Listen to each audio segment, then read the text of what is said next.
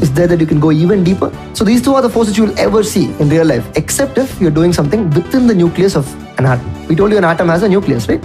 So within that nucleus, if you go, then some other even bigger guys come.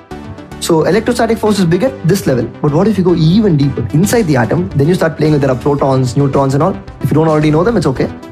You try to separate them or put them together and things like that. At that level, some interaction is happening. Those are called nuclear forces. So at this level, we rarely have to go there unless you want to like create an atomic bomb or do a lot of things that involve splitting up or putting together of atoms. Very rarely will you talk about those forces.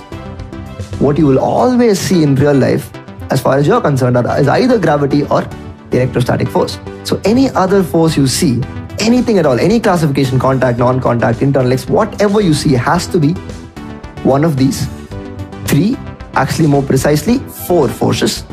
The gravitational force, the electrostatic force, the strong nuclear and the weak nuclear forces. Those two you can bundle them together and call them nuclear forces and forget about them for a long, long time. Yeah, till you really have to go within the atom. So what we told you, there are four fundamental forces and that's it. The strong nuclear, weak nuclear, gravitation and then electrostatic.